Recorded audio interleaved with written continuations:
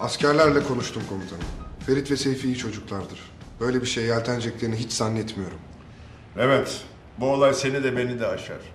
Askerlerin iyi niyetinden şüphem yok. Ama bu tüfek mesai saatinin bitimine kadar bulunmazsa rapor etmemiz gerekecek. Biliyorum komutanım. Arama çalışmalarını başlattım. Rütbeli personelim ve askerlerin sorgularını derhal yapacağım. Sen aramaların başında dur. Sorguyla biz ilgileniriz. Komutanım, askerlerin beni tanıyıp bana güvenirler. Eğer bildikleri bir şey varsa bunu en kolay ben öğrenebilirim. Gel.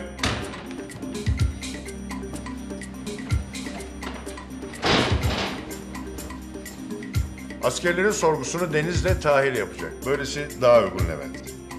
Emredersiniz komutanım.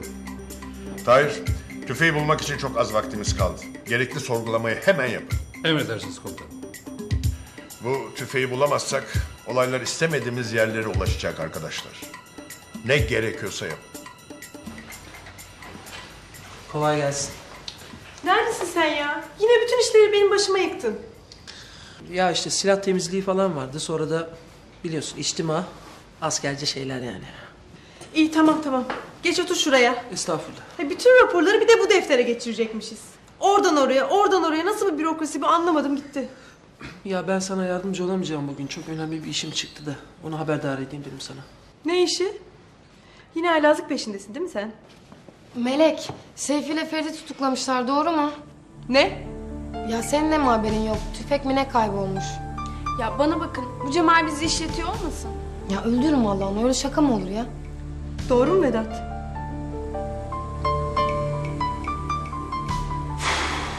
Şu hale bak.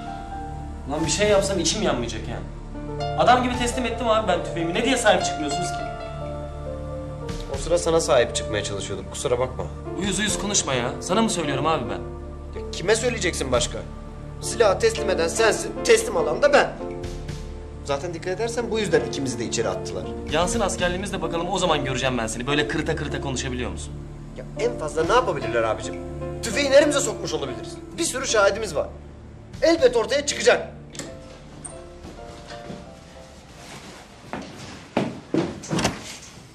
Rahat. Nasılsınız arkadaşlar? Sağ olun komutanım. Arkadaşlar, durum çok ciddi. Bir tüfeğin kaybolması demek sadece demirbaş eksikliği anlamına gelmiyor. O tüfek kim tarafından, kimin için ortadan kayboldu öğrenmemiz gerek. O yüzden bir şey biliyorsanız ne olur söyleyin. Komutanım gerçekten bir şey bilmiyoruz. Tamam Ferit, acele etme. Düşün biraz. Bakın, bunu bir komutanınız olarak emrediyorum ve sizi tanıyan biri olarak rica ediyorum. Bu iş gerçekten çok ciddi. Komutanım bizi tanıyorsunuz. Böyle bir şeyi neden yapalım? Bilemem. Onu siz söyleyeceksiniz. Bakın 5 saat kadar zamanımız var. Ya hemen söyleyeceksiniz ya da bizi biraz uğraştıracaksınız. Bu işin cezası 3 yıldan başlıyor arkadaşlar. Daha neler komutanım? Bizim bir sürü şahidimiz var. Üstelik o gün Kerim Aslemen de oradaydı. Sırıtma öyle yavşak yavşak. Oyun oynamıyoruz burada. Silah bir askerin namusudur. Öyle ya da böyle siz namusunuzu kaybettiniz.